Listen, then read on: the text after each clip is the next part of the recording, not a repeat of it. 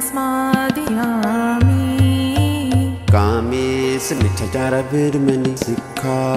स्मा एक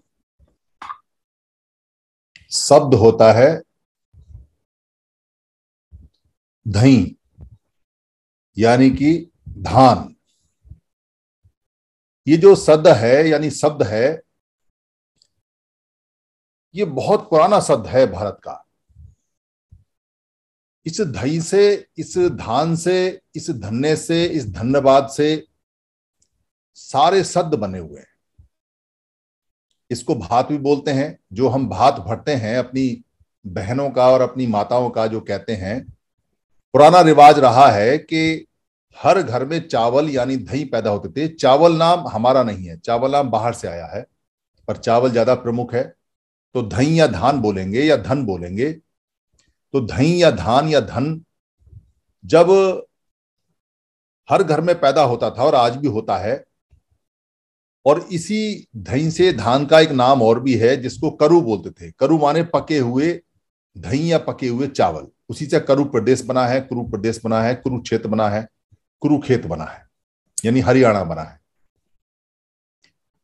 तो ये जो नाम है धई और धन्य का इसलिए कहते थे, धन धान्य से भरपूर रहे। धन जो आज पैसे में चलता है, रुपए में चलता है, ये रुपए पैसे तब नहीं छपते थे, बुद्ध के काल से पहले या बुद्ध के समय या बहुत पहले जब हम समण हुआ करते थे। हमारा जितना भी संपत्ति होती थी, वो सारी की सारी धई होती थी, धन्य होती थी, धान होती थी। और जिसको आज के समय हम कहते हैं कि चावल लगा रहे हैं या पेड़ी लगा रहे हैं। अगर किसी के पास दही खत्म हो जाए, धन खत्म हो जाए, धान्य खत्म हो जाए तो उसको बोलते थे कि ये निधन हो गया। यानी कि इसके पास में दही नहीं है, धान नहीं है, धन नहीं है, खाने के लिए चावल नहीं है तो निधन हो गया। और ऐसे व्यक्ति को जो चावल नहीं खा सकता था यानी जो डेड हो गया, मर गया, अब वो चावल नहीं खा सकता, धन नहीं खा सकता दही नहीं खा सकता, धान्य नहीं खा खा सकता तो उसको कहते थे निधन हो गया। नी शब्द जिसमें लग जाए, इसका मतलब नीचे हो गया डाउन हो गया। तो उसको कहते थे निधन हो गया। निधन का मतलब बाद में मृत्यु, यानी मच्चू मान लिया गया। पाली में मृत्यु को मच्चू बोलते हैं, पर इसको मृत्यु के नाम से आज के समय माना गया।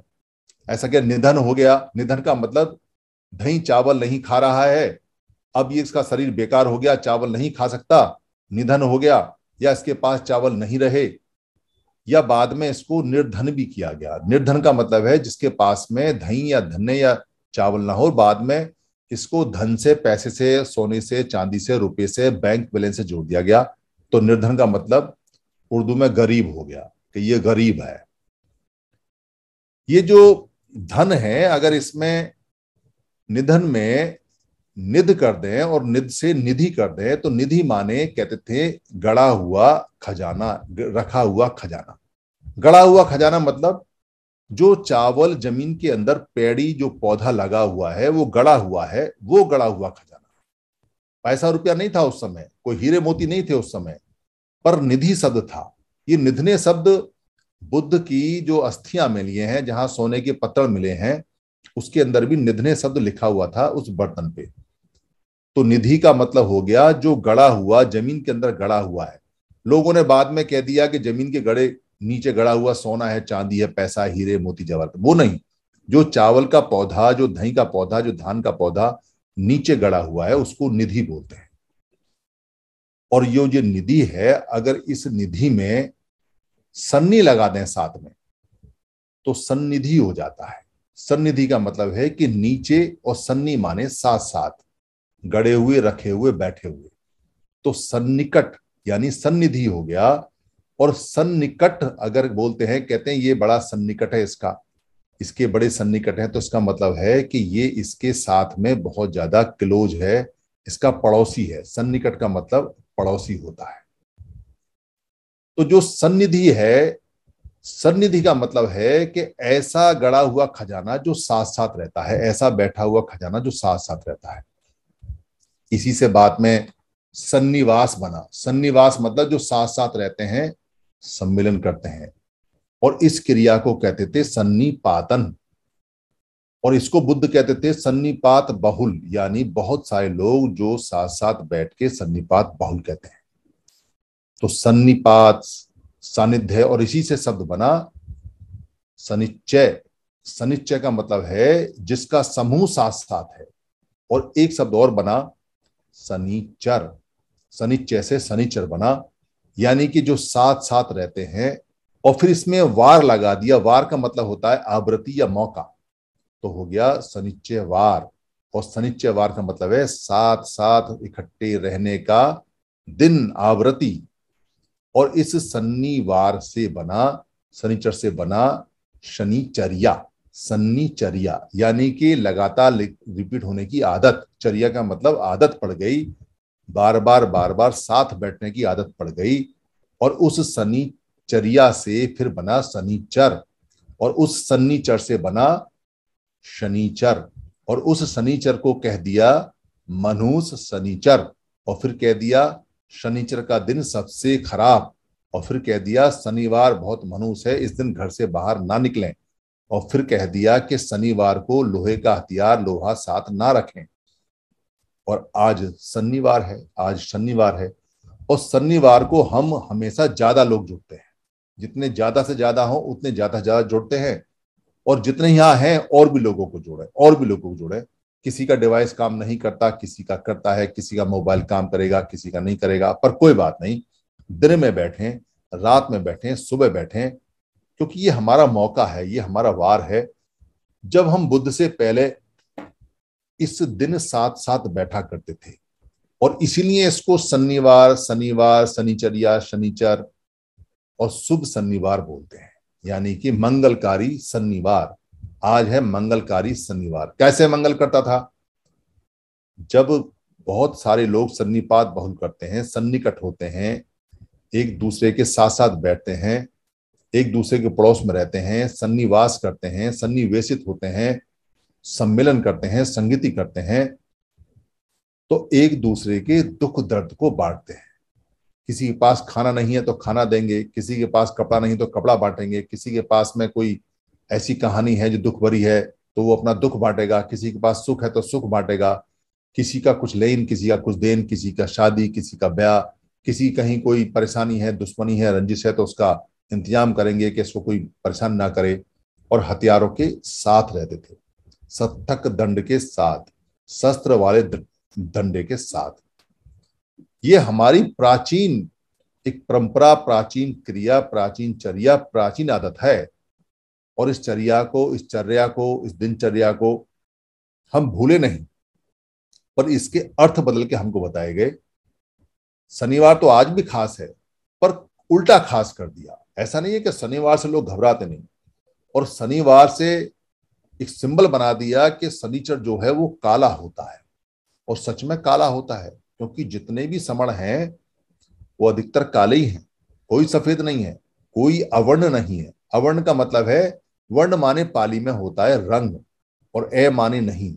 अवर्ण का मतलब है बिना रंग का, यानी सफ़ेद खाल का। और हम थे सवर्ण।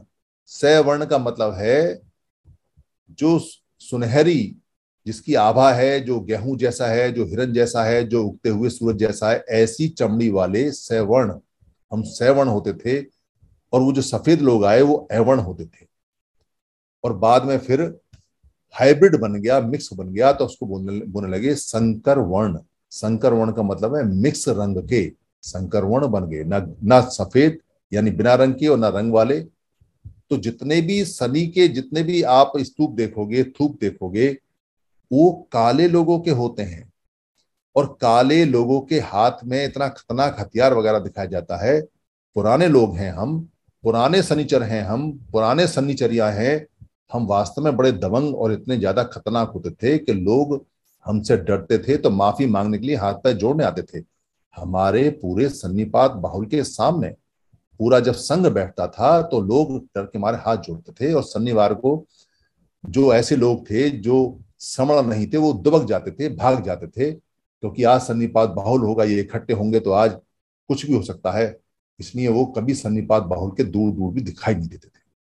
आज वो सन्निपात बाहुल दोबारा से निकल के आया है हम समण हैं दोबारा से इसको कर रहे हैं इसलिए जो जहाँ है जो जैसे भी है वो सन्निपात बाहुल करे चाहे दो लोग मिले आपस में चाहे चार मिले चाहे दस मिले चाहे परिवार मिले चाहे पड़ोसी मिले चाहे बच्चे मिले चाहे बूढ़े मिले चाहे छात्र मिले चाहे कर्मचारी मिले चाहे चपरासी मिले चाहे अफसर मिले चाहे नेता मिले पर मिले आपस में और शब्द याद रखें, सन्नीचर्या, शुभ सन्नीचर्या, शुभ सन्नीवार, ये हमारा शुभ सन्नीवार है।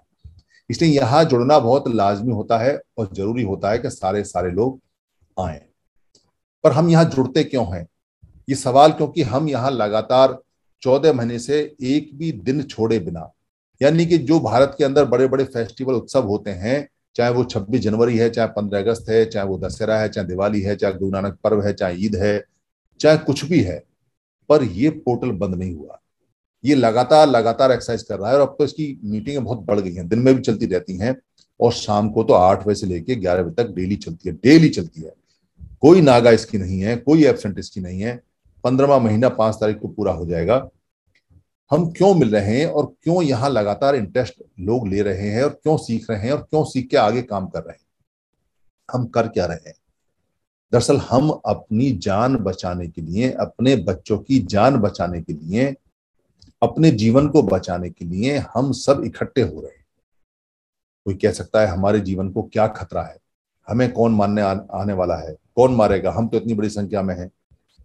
जो मार होती है मार खाली शरीर को काटना या शरीर में गोली मारना या शरीर को एक्सीडेंट करके मारना ही मार नहीं होती है। वैसे ही नहीं मरता है आदमी। मार के लिए, मारने के लिए अगर आप किसी मनुष्य का मन मार दो, किसी बच्चे का मन मार दो, किसी महिला का मन मार दो, कोई बच्चा आपके पास आए, आपका बच्चा, आपका बेटा, आपकी बेटी, और वो पूछे कि, पापा पापा, पिताजी पिताजी, जरा मुझे ये प्रश्न का जवाब बना दो। और बड़े उछलते हुए मन से, खुशी मन से आए कि उसके पिताजी उसका इस सवाल का जवाब देंगे। और पिताजी लगे मोबाइल में और हाथ पकड़े झड़क दिया, उसका भाग यहाँ से। क्या उल्टी सवाल पूछता रहता है या पूछती रहती है? तो आपने सवाल बताया नहीं, बताया, उससे फ़र्क नहीं पड़ता। पर बच्चे का मन मर गया और बच्चा उदास होकर चला गया। हुआ कुछ नहीं है उसने पूछा, आपने मना कर दिया, बात तो छोटी सी है, पर उस बात से उसका मन मर गया, क्योंकि उसकी वैल्यू खत्म हो गई। तो ये बुद्ध ने हमें बताया और ये सिखाया कि जो मन की मार होती है, वो शरीर की मार से भी ज़्यादा खतरनाक होती है। जानवर के अंदर बहुत थोड़ा मन होता है इसलिए जानवर को फ़र्क नहीं पड़ता। पर जो मनुष्य है, उसके अंदर सबसे ज़्यादा मन होता है, सबसे ज़्यादा माइंड होता है। इसलिए अगर उसके मन को मार दिया तो उसका पूरा सिस्टम काम नहीं करता, वो मर जाता है। एक औरत ने बहुत बढ़िया खाना बनाया घर के अंदर। पूरी मेहनत लगाई, दिन रात लगा दिया और जरा सा नमक फालतू पड़ गया। और आपने खाना खाते में नाक मार दिया, क्या खाना बनाया है? कितना नमक डाल दिया? खाना बनाना नहीं आता। औरत का मन मर गया। और उसका मन मर गया तो अब उसका काम में मन नहीं लगेगा। चार बातें और खराब हो जाएँगी, कोई बर्तन जल जाएगा, कोई दूध जल जाएगा, उसका मन मर जाएगा, दोबारा सब्ज़ी बनाए ना बनाए, कितने दिन लगे ठीक होने में, कितना पता नहीं। कोई आदमी है, दफ्तर में बहुत बढ़िया काम करता है, लाजवाब काम करता है, दुकान पे काम बहुत बढ़िया करता है, लेबर मजदूर बहुत बढ़िया काम करता है, अफसर बहुत बढ़िया काम करता है, कोई हाथ का कारीगर बहुत बढ़िया काम करता है, कोई कलाकार बहुत बढ़िया गाता है, बहुत बढ़िया।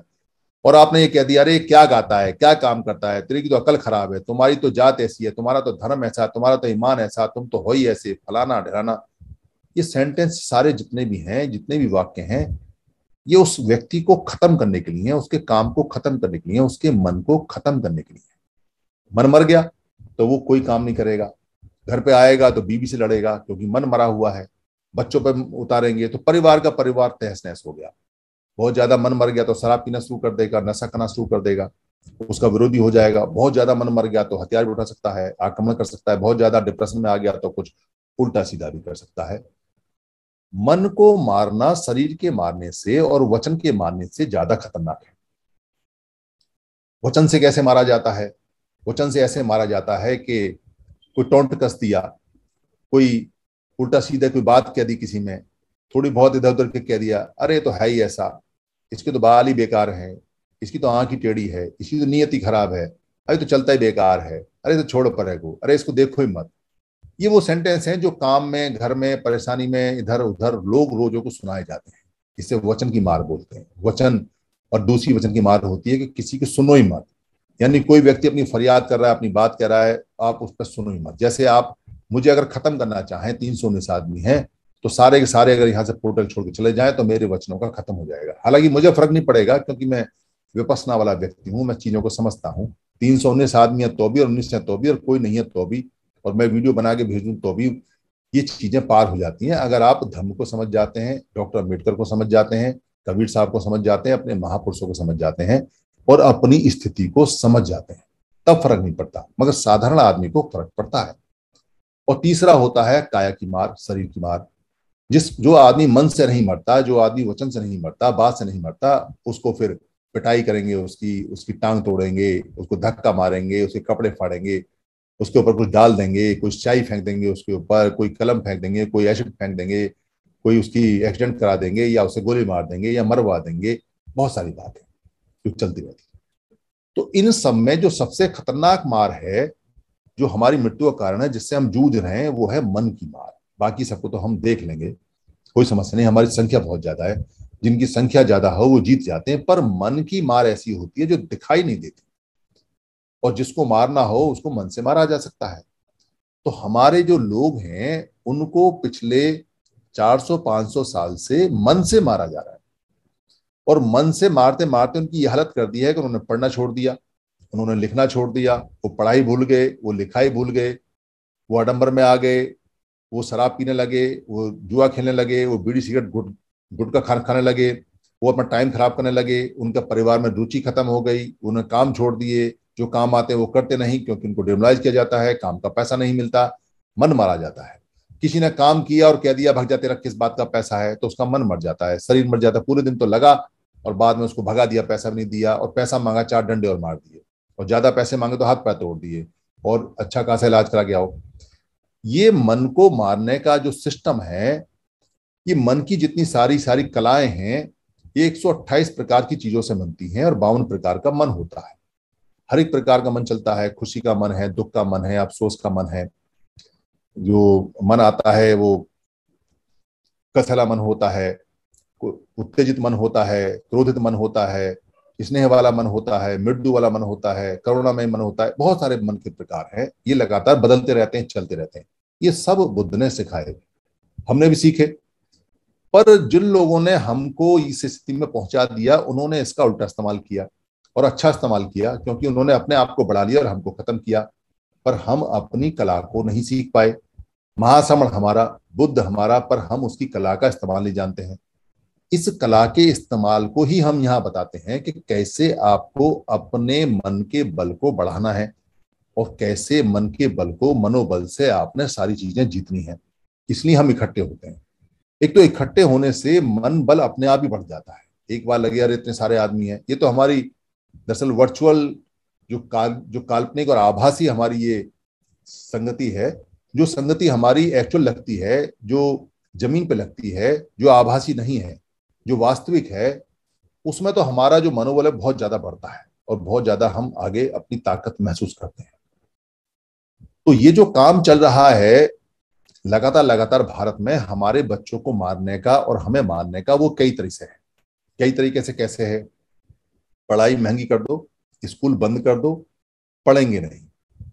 पढ़ेंगे नहीं तो जानेंगे नहीं जानेंगे नहीं तो तेज़ी से तरक्की नहीं कर पाएँगे, तेज़ी से इकट्ठे नहीं हो पाएँगे। रोज़गार छीन लो, काम मत दो, या इतना पैसा दो कि बस रोटी खाए और मजदूरी करता रहे और हमारा काम करता रहे। पर इससे ज़्यादा ना सोचे और एक टाइम की रोटी दो। इतनी तनख्वाह दो कि इसके बच्चे और ये एक टाइम खाना खा सकें, जीवित रहे बस। दो टाइम खाना खाएँगे तो दिमाग ठीक हो जाएगा, सेहत ठीक हो जाएगी तो दिमाग अच्छा हो जाएगा तो फिर सोचना शुरू कर देगा। तो लड़ने की ताकत आ जाएगी, पर इतना खाना मत दो।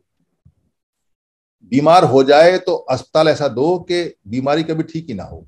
बीमार होके मर जाए। तो बीमार होके मर जाएगा, दवाई होगी, डॉक्टर होगा, पर इलाज नहीं होगा। महँगा पैसा है पैसा है नहीं तो बात नहीं बनेगी।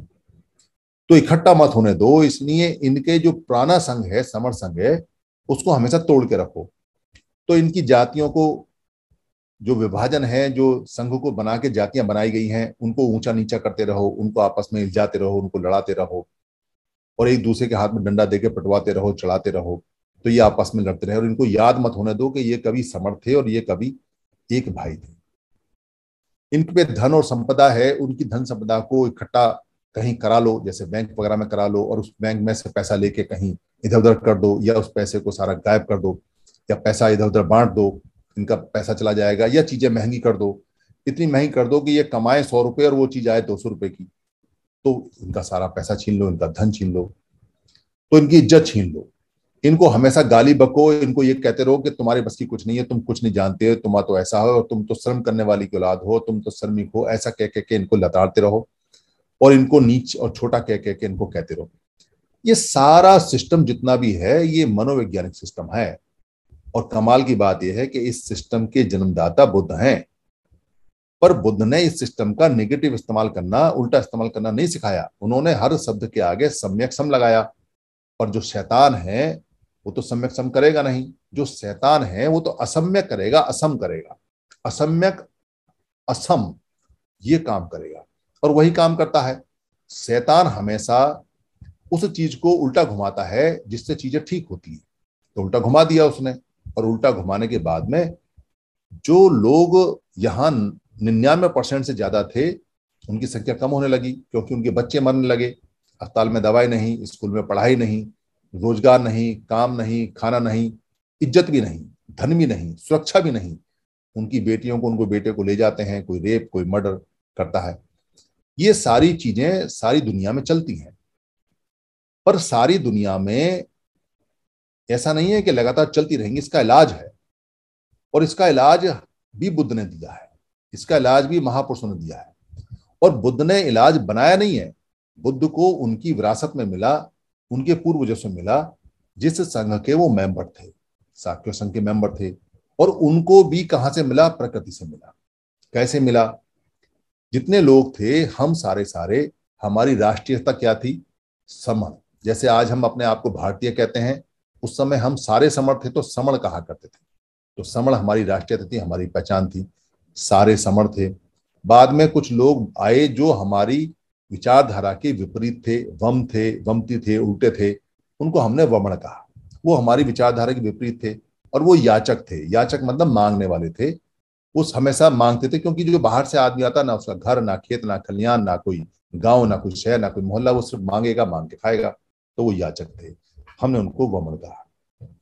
तो ये जो समण जितनी हमारी राष्ट्रता थी और जो हमारी पहचान थी, ये बड़ी ऊँची और ये बड़े कमाल की थी। हम सारे के सारे समण रहे, हम ही राजा, हम ही पढ़ने वाले, हम ही पढ़ाने वाले, ये सारी बातें, सारी की सारी चीज़ें सबको पता है। सम्राट अशोक के समय हमने महा महाभारत बनाया, इसको कोई नहीं नकार सकता। और सम्राट अशोक ने इस देश को बुद्धिस्ट राष्ट्र बनाया और बुद्धिस्ट राष्ट्र की मोहर लगाई और बुद्धिस्ट राष्ट्र के नियम बनाए, इसको कोई नहीं नकार सकता। ईरान से लेकर बर्मा तक सारे लोग बुद्धिस्ट थे। आप कहीं भी चैलेंज करके बोल सकते हैं, कोई मना नहीं कर सकता। ना कोई मुस्लिम मना कर सकता है, ना कोई ईसाई मना कर सकता है, ना ही कोई आज का व्यक्ति मना कर सकता है। और हम ही व्यापारी थे और हम ही साइंटिस्ट थे और हम ही राजा थे और हम ही सेनापति थे, इसको भी कोई मना नहीं कर सकता। ये हमारी पहचान समण की पहचान, बहुत पुरानी पहचान है। और इस पहचान को जो बुद्ध की एजुकेशन है, उल्टा करके आज हमको इस स्थिति में पहुँचा दिया कि हमको इकट्ठा होना पड़ रहा है अपनी एग्जिस्टेंस के लिए, अपने अस्तित्व के लिए, अपने आप को बचाने के लिए, अपने बच्चों को बचाने के लिए। क्योंकि तो आगे आने वाले जो समय है, वो बड़ा कठिन है। कठिन इसलिए है क्योंकि सारा काम मशीनें करेंगी। मनुष्य की ज़रूरत नहीं पड़ेगी। सफ़ाई का काम मनुष्य करेंगी, जो कपड़े बनाने का, सारा काम मशीनें करती हैं। अब तो सामान लाने, ले जाने का काम भी ड्रोन करते हैं, मशीनें करती हैं। जो रेलगाड़ी हैं, वो बिना ड्राइवर के आ गई हैं। जो कार हैं, बिना ड्राइवर के टेस्ला कार आने वाली हैं। धीरे धीरे मनुष्य की कमी मनुष्य की ज़रूरत खत्म होती जा रही है। और मनुष्य की ज़रूरत खत्म होती जा रही है तो मनुष्यों को भी लगातार खत्म किया जा रहा है कुछ लोगों को ज़्यादा मनुष्य नहीं चाहिए पृथ्वी पे तो वो उसको खत्म कर रहे हैं। तो खत्म करने का तरीका यह है कि सीधा सीधा खत्म नहीं किया जा सकता, क्योंकि मनुष्य मनुष्य को जब सीधा सीधा खत्म करता है तो उसका एक बुद्ध के अकॉर्डिंग एक बहुत बड़ा पाप आता है, जो उसके परिवार को भी नष्ट करता है। इसलिए डायरेक्ट किलिंग ना करके इनडायरेक्ट किलिंग की जा रही है। इनडायरेक्ट किलिंग का मतलब है अप्रत्यक्ष रूप से मारा जा रहा है। अगर बीमार है तो दवाई मत दो। अगर शरीर तगड़ा है, पढ़ा लिखा है तो काम मत दो। अगर इज़्ज़त है तो इज़्ज़त छीन लो। अगर धन है तो धन छीन लो। और अगर इकट्ठे हैं तो उनको इकट्ठा मत होने दो। ये जो इकट्ठे हैं तो इकट्ठा मत होने दो। यहाँ तोते की जान अटकी पड़ी है। अगर हम इकट्ठे हो जाते हैं, जैसा कि बुद्ध ने कहा, जैसा कि बाबा साहब ने कहा, जैसा कि महापुरुषों ने कहा, जैसा कि सारे लोग कहते हैं, साधु संगत करो। साधु का मतलब है शांत लोगो। संगत का मतलब है संगत, साथ साथ गति करो, संग संग गति करो, एक साथ रहो। जैसा कि महापुरुषों ने कहा है, एक ओंकार, एक रहो, एक एक ही सब कुछ है। और उंगली उठा के बार बार कहते हैं, एक होना है, एक होना है। और हमारे लोगों को कह दिया, ये एक कोई ऊपर बैठा हुआ है, उसके लिए एक है। अरे भाई, वो नीचे जो लोग हैं, उनके लिए एक बोला है, एक रहो, एक होके बोलो। अगर हम सब एक हो जाते हैं तो संविधान ये कहता है कि जिसकी जितनी संख्या भारी, कर लो अपनी कारगुजारी। जो कारगुजारी करनी है आपने, वो कर लो, पर संख्या ले आओ। अगर संख्या इक्यावन परसेंट है तो जो चाहे पास करा लो, जैसे चाहो वैसे करो। हटा दो मशीनों को, लगा दो काम पे ये जितने भी बेरोजगार लोग हैं, सबको काम पे लगा दो। ये जितनी भी इंडस्ट्री हैं, उन सबको बढ़ा लो। जितनी चाहो उतनी इंडस्ट्री खोल लो, जितने चाहो उतने काम खोल लो। काम इतना है इस पृथ्वी पे कि आठ अरब की जगह अगर सोलह अरब लोग भी हैं तो वो भी खप जाएँगे। पर जिसकी नियत काम देने की ना हो, जिसकी नियत लोगों को दवाई देने की ना हो, जिसकी नियत लोगों को सही डिस्ट्रीब्यूशन देने की ना हो, और जिसकी नियत देश में पैसा बांटने की ना हो, उससे लड़ उससे लड़ नहीं सकते आप। पर अगर इकट्ठे हो जाते हैं तो आपका राइट आपका हक आपके हाथ में है, क्योंकि तो जितने ज़्यादा लोग एक साथ होंगे, वो अपने नियम खुद बना लेते हैं, और उसी को संविधान कहते हैं, और उसी को विधान कहते हैं। ये जो भारत के अंदर जो सिस्टम है और जो दुनिया के डेमोक्रेटिक सिस्टम है, उसमें कोई कहता हो कि संविधान नियम बनाता है, संविधान नियम नहीं बनाता। संविधान तो ये कहता है कि आधे से ज़्यादा लोग आ जाओगे तो नियम बना लो और मेरे अंदर लिख दो। जो लिखोगे मैं मानूँगा और फिर दोबारा आधे से ज़्यादा लोग आ गए, उन्होंने कुछ नियम लिख दिया तो फिर वो मानूँगा। मैं वही बात मानूँगा जो आधे से ज़्यादा लोग कहेंगे। ये संविधान कहता है। यही संविधान की सबसे बड़ी जीत है और यही संविधान की चाबी हमें काम आ सकती है। छोटा सा काम करना है, इकट्ठे होना है। इसके लिए पढ़ाई ज़रूरी नहीं है। कोई कहे कि हमको बहुत सारे पीएचडी डॉक्टर डॉक्टरेट आदमी चाहिए, हमको विदेशी से यूनिवर्सिटी से पढ़े हुए लोग चाहिए या हमारी टॉप यूनिवर्सिटी से पढ़े हुए लोग चाहिए, हमको बड़े बुद्धिजीवी चाहिए, कोई ज़रूरत नहीं है। एक बुद्धिजीवी एक ही वोट के बराबर है। एक पढ़ा लिखा जो डॉक्टर है प्रोफेसर है, एक वोट के बराबर है। और जो नाले पे कोटी, जो जो नाले पे झोंपड़ी डाल डाल के रहता है, वो भी एक वोट के बराबर है। यानी सामाजिक वैल्यू जो है, संवैधानिक वैल्यू जो है, जो संविधान की निगाह में जो वैल्यू है, जो डॉक्टर अंबेडकर ने बहुत समझदारी के साथ रखी है, वो जो नाले पे हमारा आदमी बैठा हुआ है, उसका भी एक वोट है। और जो जेएनयू यूनिवर्सिटी में जवाहरलाल नेहरू यूनिवर्सिटी में जो प्रोफेसर बना हुआ है, हमारा समण है, उसका भी एक वोट है, दोनों बराबर है। कोई कहता है बहुत बड़े धनवान होंगे तो बात बनेगी, बिल्कुल ज़रूरत नहीं है। कोई अगर मिलेनियर है जिसके पास में अरबों खरबों रुपया है और वो हमारे समर समाज का है और कोई फकीर है, मांग के खाता है, किसी बुद्ध विहार में काम करता है या कोई भिक्कू है जो जीवन कमाता नहीं, दोनों का बराबर है मामला। दोनों का वे संवैधानिक वैल्यू बराबर है। दोनों की वोट बराबर, दोनों संविधान दोनों की बात बराबर सुनता है और दोनों की वैल्यू उतनी है। कोई आदमी ये कहे कि मैं तो बहुत जानकार हूँ, मैं तो बहुत अच्छा बोलता हूँ, मैं तो बड़ा समझदार हूँ, मैं तो लोगों को बड़ा समझाता हूँ और कोई समझने वाला है जो बिल्कुल पीछे बैठा हुआ है और उसकी समझ में नहीं आता है तो दोनों का वैल्यू बराबर है। संविधान की निगाह में समझाने वाले का भी और समझने वाले का भी। वो ये कहे कि जो छात्र है, उसका वैल्यू और जो छात्र नहीं, उसका वैल्यू अलग अलग है तो सारी वैल्यू बराबर है। इसलिए जो बुद्ध ने कहा, उन्होंने कहा, संगम शरणं गच्छामि। संघ की शरण में आना है। और बाबा साहब अंबेडकर ने कहा ऑर्गेनाइज ऑर्गेनाइज का मतलब है संघ में आना है। हमारे लोगों ने इसको संगठन समझ लिया। संगठन का मतलब है संघ संघ रह के जिनमें ठनती है, उनको संगठन बोलते हैं। इसलिए जितने भी ये पाली का शब्द है, आप चेक कर लेना इसको। संगठन का मतलब है संग संग रह के जिनमें ठनती है आपस में, जिनमें लड़ाई होती है। इसलिए जितने भी हमारे संगठन बने हैं, वो एक के दो दो के चार चार के आठ, के सोलह, के बत्तीस, के चौसठ, के लगातार लगातार वो टूटते जा रहे हैं और उनमें आपस में ठनती जा रही है। वो एक दूसरे की चेहरा भी देखना पसंद नहीं करते, एक दूसरे से बात करना पसंद नहीं करते।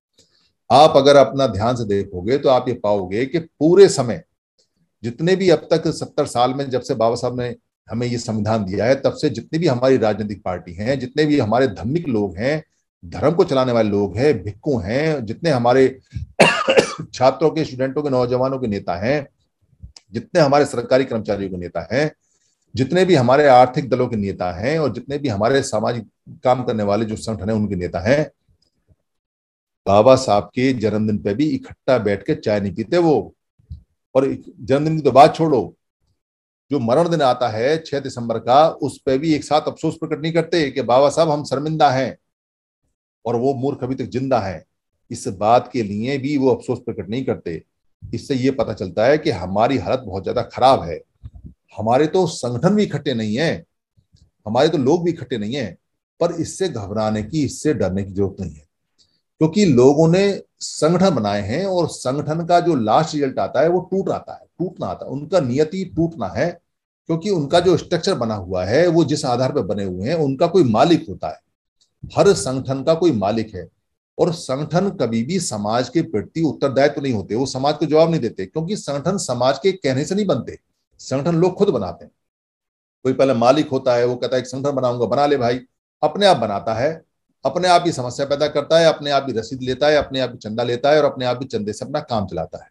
ये एक व्यापार हो गया है। दरअसल संगठन अब एक व्यापारिक काम है, पर संगठन का आज तक कोई परिणाम नहीं आया। कोई बहुत ज़्यादा लोग कहे कि जी संगठन के परिणाम आए तो वो गिना दे, बता दे। यहाँ जो ये पोर्टल है, रोज खुलता है, कोई बताए कि संगठन के क्या परिणाम आए। संगठन कभी अपने उद्देश्य को प्राप्त नहीं करते, पर संगठन हम, हमेशा टूट फूट में काम करते हैं। और जो संघ है उसमें हमेशा उद्देश्य प्राप्त होता है क्योंकि संघ में संगठन की कोई बीमारी नहीं होती ना तो संगठन का ना तो संघ का कोई मालिक होता है ना ही संघ के अंदर पैसा और चंदा लिया जाता है ना ही संघ के अंदर किसी व्यक्ति की चलती है ना ही संघ व्यक्तिवाद में जाता है ना ही संघ व्यक्ति पैदा करता है ना ही संघ के अंदर कोई नेता होता है ना ही संघ के अंदर मंच माला होती है ना ही पद और प्रतिष्ठा होती है ना ही वाहवा होती है ना ही उसमें अध्यक्ष होता है ना ही उसमें जनरल सेक्रेटरी होता है उसमें तो साधारण लोग होते हैं और वही चलाते हैं और चलता है। लोगों को यकीन नहीं होता कि संघ ऐसे चल सकता है। क्योंकि देखा नहीं ना, कभी बुद्ध ने चलाया संघ बुद्ध से पहले चलाया समझ, लोगों ने संघ बुद्ध के पिताजी ने संघ चलाया, उसके बाद अशोक ने संघ चलाया तो लोगों ने देखा नहीं, समझा नहीं, भूल गए, पर याद कराने में कोई मुश्किल नहीं है। बाबा साहब अंबेडकर ने जो संविधान दिया है, वो संघ के आधार पर दिया है। वहाँ व्यक्तिवाद नहीं है, वहाँ लोग लोगों को चुन के भेजते हैं और वो लोग चुन के एक ऊपर नेता बनाते हैं, जिसको प्रधानमंत्री बोलते हैं। और वो काम करता है, लोगों को पसंद आए तो प्रधानमंत्री, नहीं आए तो उसको हटा देते हैं। ये संघ का स्ट्रक्चर बाबा साहब ने दिया है, पर हमारे संगठन के लोग नहीं समझे। वो कहते हैं कि संविधान बचाएँगे संविधान बचाएँगे। अरे भाई, आप संविधान कैसे बचा लोगे? आप कहते हो कि किसी को सांप ने काटा और सांप काटे का इलाज करेंगे और सांप को आप फिर दोबारा सांप कटवा के इलाज करोगे, कैसे कर लोगे? आप खुद टूटे हुए हो, फिर किसी को कैसे जोड़ सकते हो? आप तो जहर पे जहर खाए जा रहे हो तो मरना आपका तय है। पर संघ इन सबसे अलग रहता है। इसलिए यहाँ लोग इकट्ठे हो रहे हैं एक बिल्कुल पुराने और आज के नए तरीके के साथ जिसको समण संघ बोलते हैं। समण इसलिए क्योंकि हम समण हैं। और ये समण संघ लगातार लगातार लोगों को जोड़ रहा है और जोड़ने का उद्देश्य है अपना सुख प्राप्त करना और सुख प्राप्त करने के लिए हमको जीवित रहने की ज़रूरत है। इसलिए पहला काम कर रहे हैं कि हम जीवित रहें। अगर हम जीवित रहेंगे तो बाकी काम हम बाद में कर लेंगे। और अगर जीवित नहीं रहेंगे तो हम कोई काम नहीं कर सकते। और जीवित रहने की एक छोटी सी शर्त है कि हमको संघ की शरण में जाना है, संघ में जाना है, संघ में रहना है साथ साथ रहना है। यही सबने कहा है, जीतते भी वही हैं जो संघ में रहते हैं। जो जानवर संघ में रहता है, वो शिकार करता है। और जो संघ से अलग हो जाता है, उसका शिकार हो जाता है। जब तक हिरन एक झुंड में रहते हैं, शेर की हिम्मत नहीं होती कि उस पर हमला कर दे। और जैसे ही एक हिरन अलग होता है, जो बीमार है या छोटा बच्चा है या कोई भूल से आ गया है, शेर उस पर झपट पड़ते हैं। पर शेरों का झुंड भी सुरक्षित नहीं है अगर वो संग में नहीं है। एक अकेला शेर अगर जंगल में चलता है तो उसको कुत्तों का झुंड फाड़ देता है। और कुत्ते भी सुरक्षित नहीं है। अगर एक कुत्ता अलग चलता है तो उसको बांग फाड़ देता है। और बांग भी सुरक्षित नहीं है। अगर अकेला बांग चलता है तो उसको शेर फाड़ देता है। ये चैन चलती रहती है। जो अलग रहेगा, वो मारा जाएगा। और जो इकट्ठा रहेगा, वो ज़िंदा रहेगा, चाहे वो मधुमक्खी है, चाहे मक्खी है, चाहे वो चीटी है। चीटी जैसा छोटा जानवर भी इकट्ठा चलता है, इकट्ठा हमला करता है। मधुमक्खी इकट्ठा हमला करती है, इसलिए जीवित रहती है, बच जाती हैं। और समुद्र में छोटी छोटी मछलियाँ भी इकट्ठी चलती हैं तो बड़ी मछली से बच जाती हैं। और ऊपर जो पक्षी उड़ते हैं, वो भी एक ग्रुप में चढ़ते हैं तो बाज उन पर झपट्टा नहीं मारता, क्योंकि एक साथ झुंड में चलते हैं। अगर झुंड में नहीं चलेंगे तो बाद छोटी चिड़िया को लेकर उड़ जाएगा, पता भी नहीं चलेगा। ये बात नेचुरल है, ये प्राकृतिक है, इसलिए जिद्द है हमें ज़िंदा रहने की और जिद्द है अपने अस्तित्व को बचाने के लिए। जुड़ेंगे तो जीतेंगे, और जो जुड़े हैं वो हमेशा जीते हैं। जब जब जुड़े हैं, तब तब जीत जीते हैं। जैसे जैसे जुड़े हैं, वैसे वैसे जीत जीते हैं। और इसे जुड़ने के लिए हम लगातार लगातार लगातार मीटिंग कर रहे हैं। 28 जो अभी 15 अगस्त आ रहा है 15 अगस्त की दिल्ली में मीटिंग है, सिर्फ़ स्पोक के लिए है। जितने स्पोक हैं, जो आ सकते हैं, वो आए। स्पोक की खाली मीटिंग है, विकासपुरी बुद्ध विहार में है। अपना खाना, अपना पानी, अपना आसन, अपनी चाय, अपनी कॉफ़ी, अपने बिस्कुट अपने साथ लाएँ, क्योंकि पंद्रह अगस्त को कोई मार्केट नहीं खुलती है। मेट्रो से आए या गाड़ी से आए, कैसे भी आए, सुबह नौ बजे से लेकर शाम चार बजे तक सिर्फ़ स्पोक से बातचीत होगी। उसके बाद में किस तारीख की गाजियाबाद में मीटिंग है? उसके बाद में अट्ठाईस तारीख की गढ़ मुक्तेश्वर में मीटिंग है, जिसमें बच्चों से जाना है, महिलाओं की मीटिंग है, महिलाओं की संगति है। तेईस सितंबर को हम बड़ोदरा में संकल्प दिवस मनाएँगे, जहाँ बाबा साहब अंबेडकर की पिटाई हुई थी, उनको घर से बाहर निकाला, लट्ठों से मारा गया, सामान सारा सड़क पे फेंक दिया गया और बाबा साहब ने संकल्प लिया, उस जगह को देखेंगे, वहाँ जाके संघों को नमन करेंगे, बाबा साहब को नमन करेंगे। उसके बाद में फिर 16 अक्टूबर की 2000 लोगों की लखनऊ में मीटिंग है, जो अधिकतर डॉक्टर वहाँ आएँगे, पर हम सब भी वहाँ पहुँचेंगे परिवार के साथ में। और बारह और तेरह चौदह की बहुत बढ़िया मीटिंग संघ के सामने है। सारे बुद्ध विहार जितने बर्मा के हैं, जितने वहाँ श्रीलंका के बुद्ध विहार हैं, उन सब में हम वहाँ ठहरेंगे। और वहाँ रुकेंगे। इसके अलावा जो महाराष्ट्र में मीटिंग आने वाली है, वो बड़ी है और फरवरी के अंदर जो मीटिंग रहेगी, वो दस हज़ार आदमियों की दिल्ली के अंदर संगति रहेगी। ये हमारा चलेगा। कंसेप्ट आपको बता दिया है। कोई भी प्रश्न अगर आपको लगता है कंसेप्ट में तो आप बिना पूछे ना जाएँ, क्योंकि अगर आप नहीं पूछेंगे तो बात नहीं बनेगी। इसका कारण बताता हूँ आपको क्या है। अगर आप ध्यान से देखोगे तो पूरे भारत में जितने भी संगठन है, जिनकी संख्या उनतीस लाख है, वो एक तरफा है। एक तरफा का मतलब है कि मंच पे आदमी जो बोल देता है, उसको जवाब नहीं देता। कोई पूछता भी खड़े होकर कि ये कैसे है तो उसको ये कह देता है बाद में पूछना, बाद में बता देंगे। उसके चेले आपको कह देंगे, बाद में पूछना, बाद में बताएँगे। कोई भी आपकी बात नहीं सुनता। मगर बुद्ध ने हमें ये सिखाया है, बाबा साहब ने हमें ये सिखाया है कि जब तक आप सवालों के जवाब नहीं दोगे, आप किसी भी हालत में ना जीत सकते हो और ना किसी के, किसी भी व्यक्ति को जोड़ सकते हो। और ना ही कोई बात को अच्छे तरीके से कर सकते हो। बुद्ध ने हमेशा खुद जाके तर्क किए हैं लोगों से, या लोगों को बुलाकर तर्क किया है। सवालों के जवाब दिए हैं और सवालों के जवाब दे देकर उन्होंने लोगों का जीता है।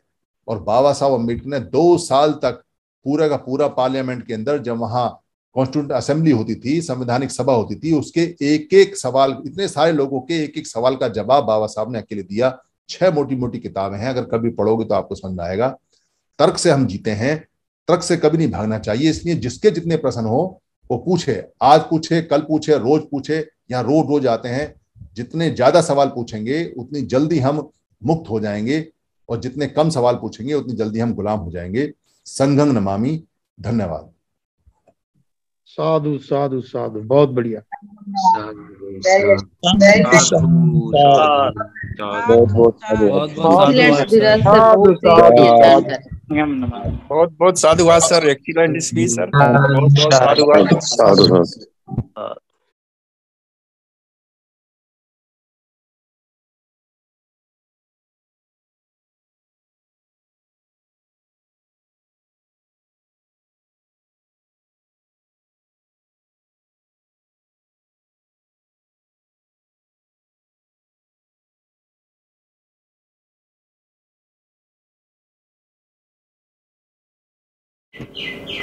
आप सभी से ये निवेदन है कि अगर आपको ये वीडियो अच्छी लगती है या बाकी वीडियो अच्छी लगी हैं, और आपको लगता है कि धर्म की वीडियो किसी को और मिलनी चाहिए या किसी को गिफ्ट में भेजनी चाहिए या किसी भाषा में कन्वर्ट करके आगे बढ़ानी चाहिए या प्रिंट में, किताब में छापनी चाहिए या इसकी जो ऑडियो है उसे निकाल के भेजना चाहिए या इसका किसी पार्ट को इस्तेमाल करना चाहिए तो आपको लिबर्टी है, आपको छूट है। ये सभी कॉपीराइट फ्री हैं।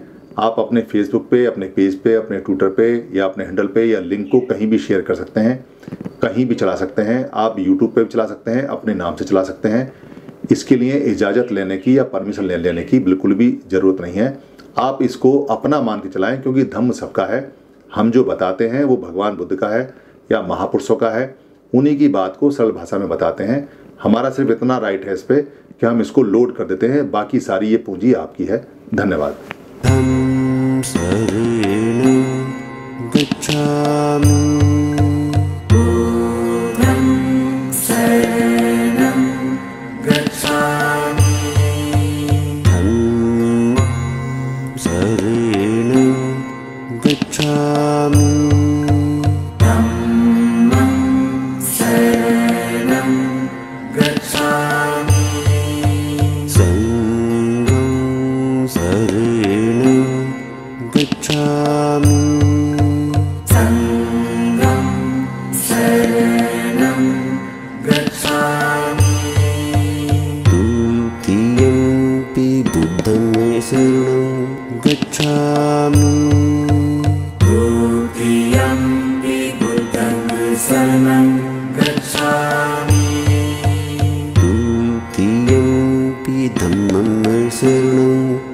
gian